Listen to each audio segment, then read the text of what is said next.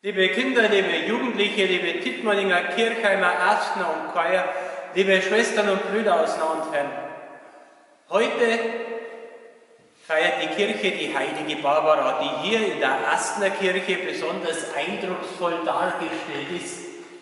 Sie ist dargestellt mit dem Turm, mit dem Schwert und mit der heiligen Eucharistie um die heilige Barbara, die am Anfang des vierten Jahrhunderts gelebt hat und auch gestorben ist als Märtyrerin, bilden, bildet sich, bilden sich viele Legenden.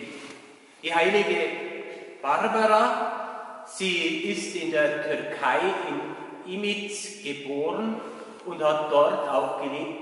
Ihr Vater war ein reicher Kaufmann, ein Nichtchrist, der seine Tochter gut anbringen wollte, aber keiner der, der Auserwählten des Vaters war für die Barbara gut genug.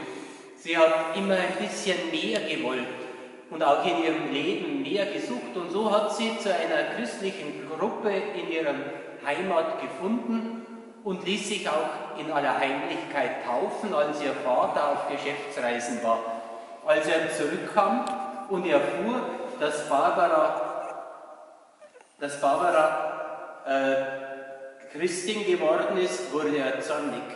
Er ließ für sie einen Turm bauen und wollte sie dort einsperren, damit sie nicht noch mehr vom christlichen Glauben hinnimmt.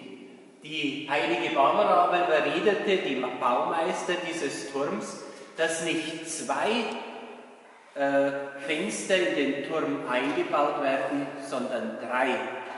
Und als sie gefragt wurde, dann sagte sie, ich möchte erinnert werden an die heilige Dreifaltigkeit, an den einen Gott, der sich zeigt in drei Personen.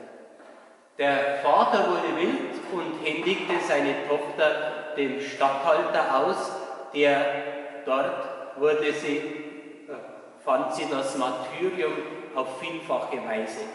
Es war ein schreckliches Martyrium, das uns in der Legende geschildert wird. Das will ich jetzt nicht in allen Einzelheiten darstellen. Aber als letztes wollte ihr eigener Vater sie mit dem Schwert enthaupten und die Heilige, und er wurde vom Blitz getroffen und sank tot dahin, aber man enthauptete sie trotzdem. Die heilige Barbara wurde hoch verehrt und ihre Verehrung breitete sich schnell über die Türkei aus in die westliche Welt, wo sie heute noch verehrt wird. Vor allem die Bergleute rufen sie als ihre Schutzpatronin an. Aber sie ist auch für viele andere Berufe Patronin, wie zum Beispiel für die Ingenieure. Die heilige Barbara ist aber auch Patronin um eine gute Sterbestunde.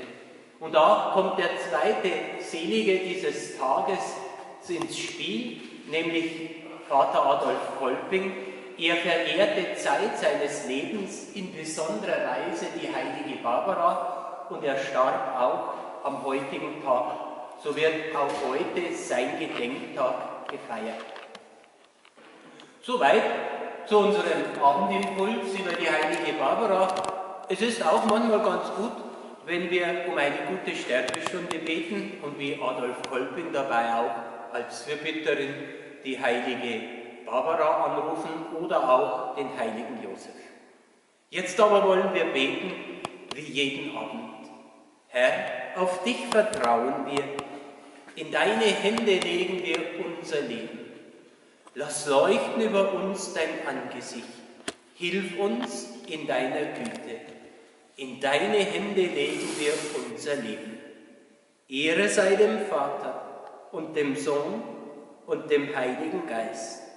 Herr, auf dich vertrauen wir, in deine Hände legen wir unser Leben. Und so segne euch an diesem Abend und in dieser Nacht der gute und treue Gott. Es segne euch Gott der Vater und der Sohn und der Heilige Geist. Amen. Und da sehen wir auch wieder was, nämlich von Kündet allen in der Not die letzte Strophe. Gott wird wenden Not und Leid, er wird die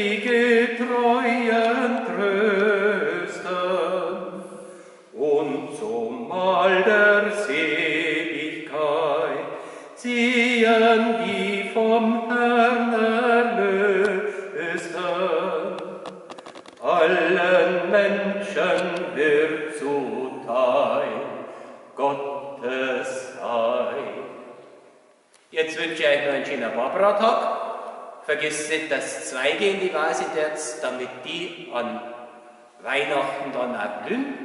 Und von den heiligen vier Ast, den, den heiligen vier Astner Madel, ein schöner Gruß. Für euch Gott. Bis morgen.